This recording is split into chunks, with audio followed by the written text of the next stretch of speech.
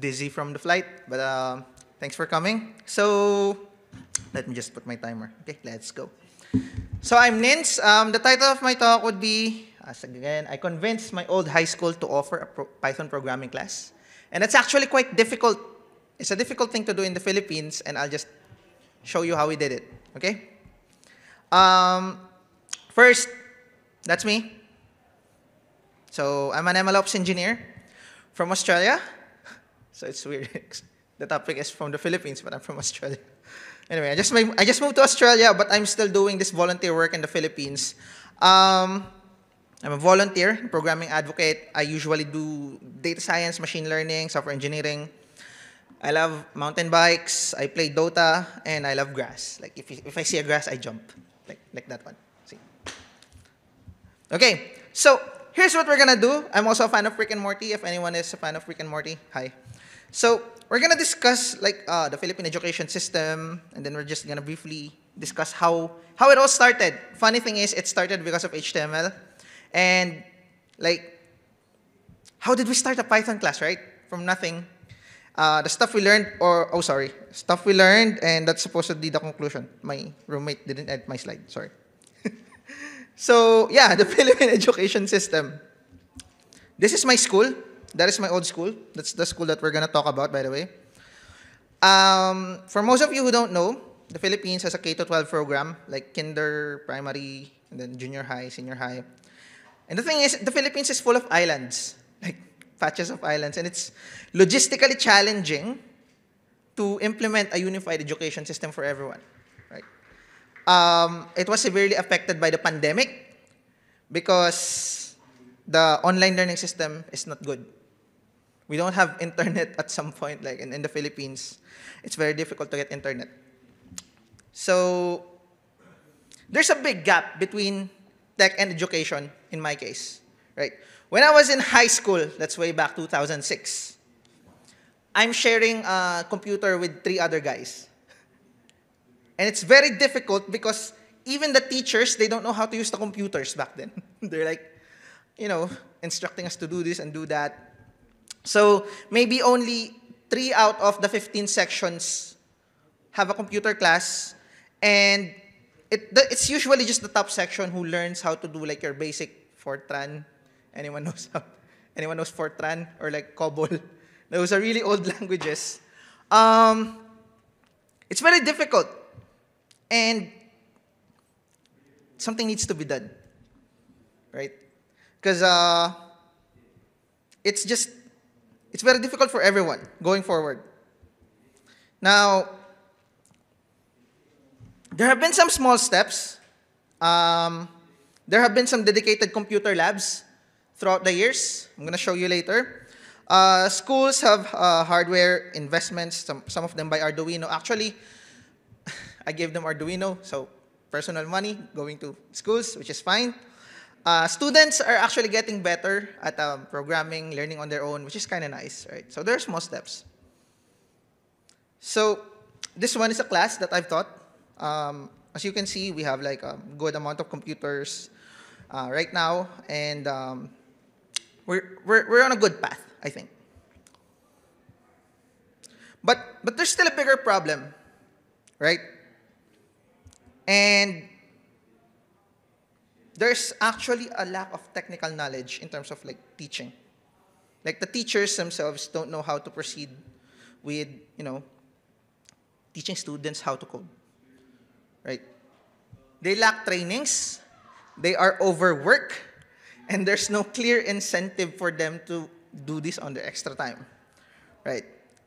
So it was difficult. Um, how did it happen? It started because of HTML. I think it was way back. Oh, this, by the way, this is the place that I'm talking about, the, the red ones called Tayabas. There is, I think, around five high schools in there. And the school that we're going to talk about is a Luis Palad Integrated High School. That's my old school, uh, and it's, I think, it's a good way to, you know, give back, right? So way back in 2013, there was um, a teacher who messaged me. hey, Nins, can you come? Uh, we want to teach kids how to do websites. I'm like, okay, sure, fine. He said, uh, how much? We're going to pay you. I said, um, do you have like bread? I accept bread as payment. So yeah, basically my payment for this is like loaf of bread, three loaves of bread, I think, and I'm, I'm happy, right? so this is the first class that um, happened, HTML Bootcamp. I'm so young back then. Uh, and then it, it went on until, you know, 2016. So I think every year we have classes going on. So uh, we do a one to two week HTML bootcamp. And then the goal was to create a website for the school, which didn't happen apparently because there was no support, right? I mean, come on. If you see a bunch of kids doing HTML, have you have you used Friendster? Anyone? If you use Friendster, you definitely see what a bunch of kids will do to a website, right? Like all the queue, like the, the I don't know, marquee thingy. Yeah. So, you know, there was no definitive outcome. We had no support. The school said, you're just wasting our time. I said, fine. Now, back, back, at, the, back, back at those days, we, we tried to remember there was actually, we need a stronger motivation for the schools, right? We just, we cannot show them results of just a few students doing HTML, random stuff on the website. That's not gonna work. That's not gonna cut it. So, how did we actually start the Python class? 2016, I thought it's, that's it, done. I'm okay. I won't have anything to do with this school anymore. However, there's this called, this is, there's this thing called investigatory projects, right? Um, for those of you who don't know, it's like, it's like research, but for high school. So when, you when you do your college thesis and, you know, research and stuff like that, but it's like that for high school. Back in the Philippines, we have that. Um, the thing is, it's actually quite good for the school to have these investigatory projects, you know, published. Because you can join competitions. If you win those competitions, you get more budget. Now we're talking about money. So the schools are like, huh, we want to win. We want to have, you know, budget and stuff like that. And I took this opportunity, right? Since they are incentivized, they have a drive to support it. What I did was, as you can see here, this is literally the first uh, coded project that we did back then. It was a, we, we bought a very old drone and we tried, yeah, it failed. so I think that's the first code that the students did, and I was like, I was like, oh, okay, let's try this. But um, it's something that that how many lines of code right there? Technically, that's just what uh, around 40 lines of code. That started the whole Python programming class. That's it. They saw the potential of that drone, and they said, hey, maybe we can do this again, right? So from 2017 to 2019, we produced around 10 projects, maybe around something like that, 10, 12. Uh, Arduino-based systems, we have monitoring systems, we have, uh, we use Raspberry Pi, and then we have some basic machine learning applications. Can you, yeah, high school, doing machine learning, right? So plant-based predictions, like seasons, you know, when, when the plant will be harvested, uh, image processing, web apps, stuff like that. And it was good. So here, uh, as we go uh, over those, how many, 2017, 18, around three or four years, those are the students that joined competitions. Uh, I taught them how to use Arduino, we ported Python. Um, and yeah, school is seeing the result, so they're happy. But I'm tired. so I thought it's just gonna be something like um, I'm gonna enable them, teach them, and stuff like that. But it's not sustainable because they always say, "Ha, can you come back again? Teach us. Can you come back again? Teach us." And all they give is a loaf of bread. I'm like, something needs to happen, right? I cannot take bread for payment for the rest of my life. So I thought of something. But then 2020, pandemic hit. Everyone shut down, and everyone is free. So in March, that's March 2020, I posted on my Facebook. Uh, I'm gonna translate it because it is in Tagalog. Basically, I asked them, hey guys, if anyone is interested in learning an online uh, Python programming online, you know, um, if you have like high school or college students interested, ping me. We can start it because we're all bored at home doing nothing, right? And to my surprise, there's a lot of response. So, on March 2020, oh, sorry, on April 2020, we unofficially started a class. Um, I asked for the teachers to, hey guys, can you come here at the class? We're gonna try to teach you, right? And then, um, I don't know, some college student heard that I'm gonna do that. So there are some college student and then some like two working professionals. My main goal is to teach the teachers programming so that they don't bother me anymore. And I'm a selfish person like that, right?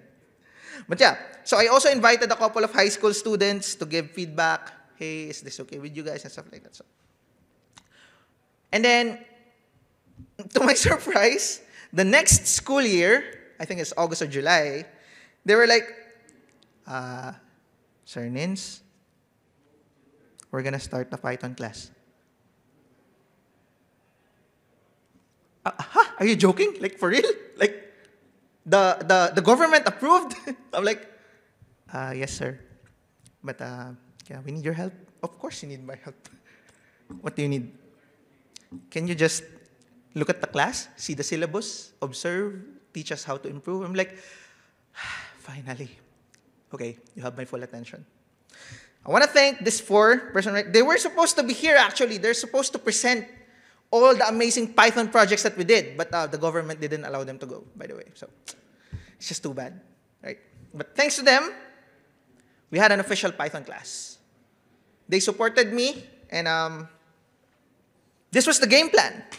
I told them, hey, look, we're gonna start 2020. We're gonna implement this maybe on grade 7 and grade 8. I don't know, maybe divide the programming class into two, probably. So um, that's their proposed plan, and we just revised based on it. So basically, we had three three courses. Programming one is for control uh, concepts like variables and control flows. Programming two is like for data structures. Um, so I, I left the whole. I asked them to do the planning, and I'm just gonna review it. Right. Here, um, we attach those classes to a research class. So each of them has their own research subject, and depending on their grade level, we either require them to integrate programming in their projects or, you know, just encourage. But yeah, it was nice. So, what did we actually learn from the whole experience? What happened? Yeah, basically, it's a good job, right? So, kudos to the teachers However, we have some three key observations. Okay. Students really hate for loops. I don't know why. I don't know what's up with for loops. They're like, ah, uh, how, how do you how do you do the invariant thing again? It's like for those of you who are familiar with invariants, like loop invariants, right? And they're like, sir, I'm sorry, we don't understand. So we, we had a lot of time teaching them for loops, I think for the entire semester, just, just for loops. So we adjusted the course. Um, we also implement capstone projects. I'm going to show you some capstone projects later. And then there's, of course, there's the Rockstar developers. There's also Rockstar students whom, I don't know, for some reason doing ChatGPT already. I'm like, what are you doing? Oh, I'm trying to integrate this to ChatGPT. I'm like, who taught you how to use that? Uh, YouTube. okay, fine. Nice. But yeah, so we took those key observations and we tried to improve the course. Okay. Um, all throughout the course, I think I, I mentioned that uh, 2017 to 2019, we had an approximately 10 projects that are coding related. But um, as of today, yeah, I just refer, I just checked again today because I asked them there's a new class. We had 10 successful programming class since 2020.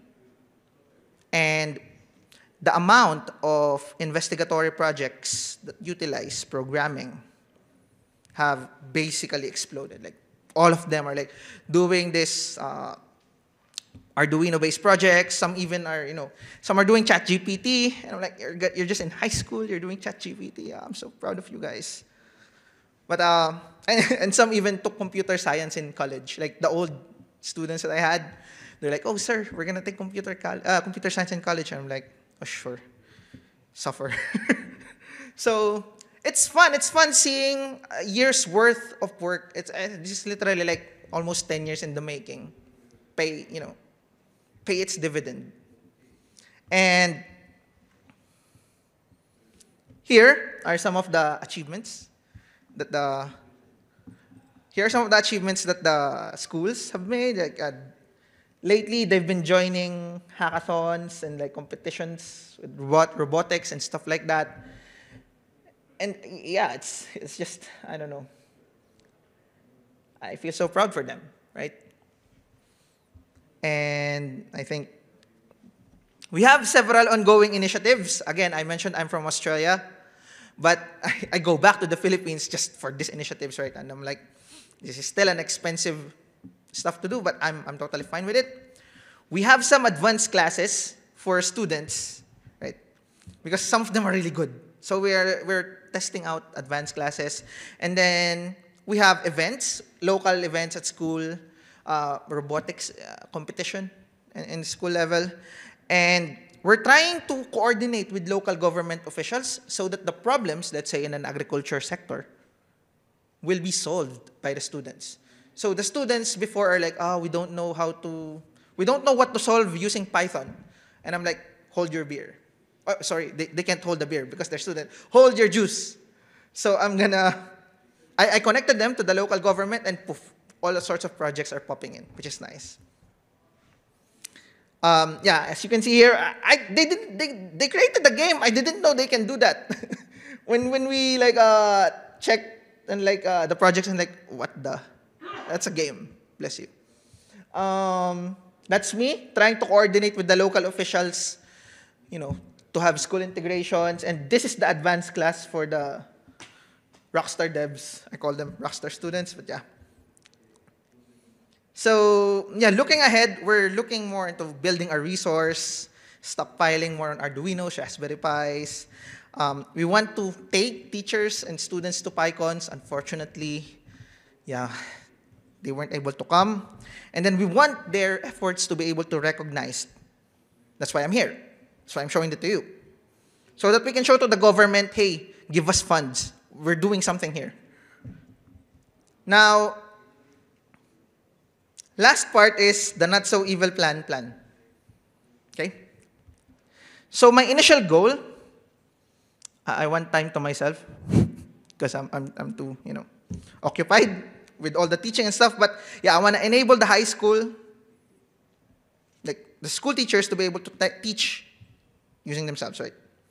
But then I revised it. There are five schools in our city, and I want all of them to have a programming class. That's like a what? Five, ten year goal, I guess. How will I do that? So, again, it seems that Python is easy to learn. We tried using JavaScript, and for God's sake, C. For, you know, teaching them, didn't go well. And the demand is actually high. Because if the school gets recognized, they get more funding. Again, when we're talking about money, the, the schools are just, you know, they move really fast. And we need to keep up. Students need to keep up, right? Pen and paper is not enough. The focus areas would be, we want to transfer the knowledge that the pilot school learned to the other schools, right? We want to build the connections between the schools, and then we want to snowball. We have the momentum, we have to keep going. Don't stop. Don't stop. That's going to be our plan, right? And for the final push, this is my idea of the future, maybe five, ten years of work. We want to have citywide programming activities, each of the five schools competing with each other. And then um, we have we want to have like government offices giving research to high schools, solving problems using Python, machine learning. And we want to get noticed. Right? If you shout at a forest, no one knows. That's the thing. So that's why I'm here. I hope you guys are maybe inspired, I guess. And questions? So yeah. Thank you. Thanks. Uh, any questions from anyone? Uh, yes.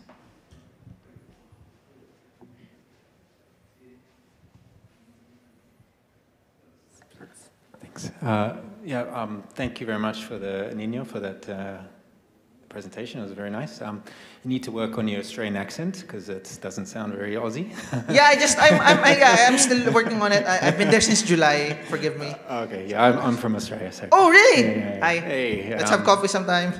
sure, sounds good. Um, so, yeah, I, what you're doing in Philippines sounds awesome, and um, I, I've been in Japan for like 15 years, and uh, I, they also they don't have anything like this in here. And I'm not sure about Australia because I haven't been there for a while, but it sounds like you could, I mean, you you started one school, five schools, then, but, you know, I think, it, you know, what have you seen from other countries and what they're doing, and uh, what do you, do you think that, uh, you know, perhaps you could work with local governments like Australia or Japan to do similar things? Yeah, that's that's actually a really nice question. Um, is doing great, by the way. Rent prices are expensive. But um, other than that, we're good. So I think, as I've mentioned, we tried it before using HTML boot camps. Didn't work. Because the school has no incentive to do that, right? They're basically like, whatever guys, we don't care. But then when we, when we showed them on the Python programming class, because once we're talking about money, my God, they move so fast. And I think that's what I see from other countries as well. I've seen several initiatives, for example, in Taiwan or even in the Philippines, like for colleges, if you put some sort of, if you frame it in such a way saying that if you learn programming, you can join competitions. If you join competitions, your school ranking goes up. If your school ranking goes up, you get more funding. That's how I always frame it, right? Because if I just tell them, this is good for the student. They don't care. Oh my God, why do you're at school? You should care. But yeah, if I tell them, um, oh, this is going to be good for the students and stuff like that, they usually say, oh yeah, we agree, we agree, but they don't do anything. So I always frame it in a way that this is going to get you more funding. that's the short question. That's the short answer. The long answer would be like in countries, I, I think for Australia specifically, there needs to be a very good community, right? Python, uh, like Python community in Australia, I don't know why it disappeared for quite some time. uh, I think they're still trying to rebuild the, the whole development community, but we have a very active um, community in the Philippines. Thank you, Python PH guys. That's a chair for Python PH. Yeah, so um, we have a very good community in the Philippines. So if we have, if we want support, it's easy to get speakers. It's easy to get the resource, right? And if the school is getting it for free, they'd have no reason to, you know, not do it, right? So yeah, again, again, just frame it in such a way that they will have more funding. That's the bottom line. So one quick follow-up. Um, if I, um, you showed your curriculum and online just very like uh, high level. Is it possible to see it in a bit more granular? Is, do you have it somewhere? Or? Um, yeah, it's on the teachers. They are supposed to be here with me. I you can send me a message. I can like like give it to you. Oh, that, that'd be good. I'll, I'll be. I'm quite interested to. Yeah, sure, sure. Uh, I think I can add, just add one more point to the question you asked. Right, like uh, there are uh, for many PyCons on the local chapter, whether it is uh, PyCon Philippines, uh, last month we had done PyCon India. So for every uh, uh, PyCons, we are doing some diverse initiatives. We call it as Young Learner Workshops, especially for schools. So uh, the same activity which Ninja is doing, a uh, lot of PyCons are doing. So they go to they select few schools. They go to schools and they'll uh, do workshops on the stuff. So that is a core initiative from the PyCon itself. So I mean, a lot of PyCons uh, will uh, not follow because of lot a lot of logistics and Yeah, the other logistics. issues. but I agree. But many like in, in India, we have done last month. Th- We got humongous response. Like we uh, for the Young Learner workshop, we did in ten cities. In every city, we touched 500 plus attendees. We covered 5,000 plus uh, kids. Uh, we trained them in Raspberry Pis and the that's stuff. In the span of like uh, a month and month and a half. So a lot of PyCons are doing it, and I really like this approach. And uh, yeah, thank you, thank you once again for the you know uh, insightful and you know uh, thought-provoking uh, thing. Uh, so okay. really amazing. Yeah. Any more questions to Ninj? Okay? We're good? Yeah, you can approach me anytime, by the way. So. Thank you. Thank you so much, everyone. Thank you, Ninj. Thanks.